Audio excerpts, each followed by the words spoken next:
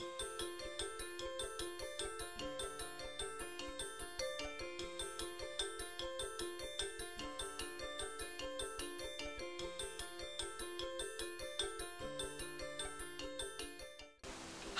I'm Vaughn. I'm Claire, and this is Deconstructing IoT.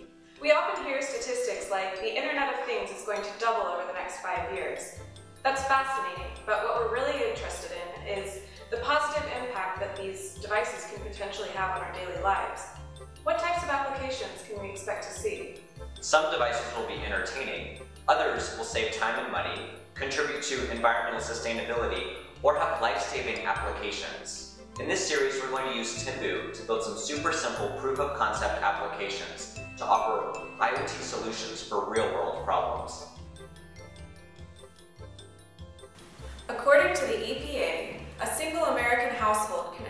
Around 300 gallons of water per day on average. A leaky faucet, or one that doesn't close all the way, can end up wasting hundreds of gallons. And the repercussions of water waste will only become more intense in the future as freshwater supplies become more scarce. Today, we're using Temboo to build a system that detects and manages water waste. What if you could sense and display water usage trends for all of the faucets in your house? What if homeowners and building management could receive notifications automatically when leaks are detected or when excess water is used? We've installed an inexpensive sensor into a water faucet knob. The sensor information will be read by a Texas Instruments CC3200 board. When we turn the faucet, a Google spreadsheet will be updated. We'll also add an alert that creates a ticket in Zendesk when water usage exceeds a certain amount. Let's see how it works.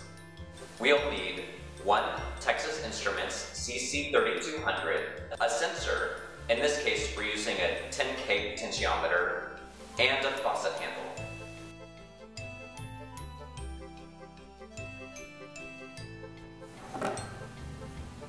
Temboo's Choreo library connects devices to over 200 APIs.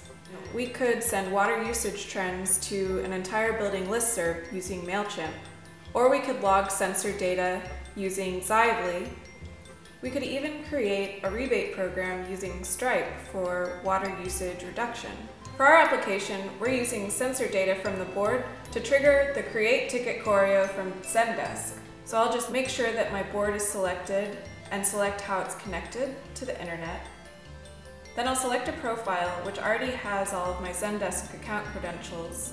Once I've set my inputs, I can just scroll down to the code snippet below.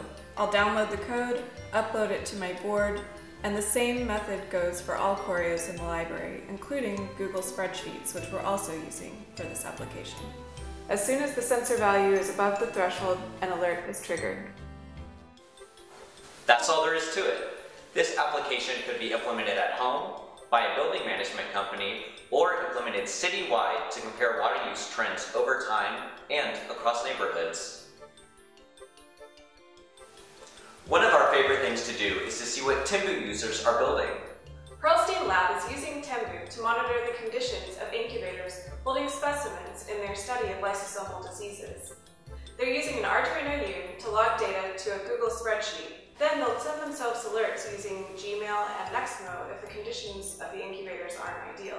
Have an application you'd like to share with us? Email us at hey at temboo.com.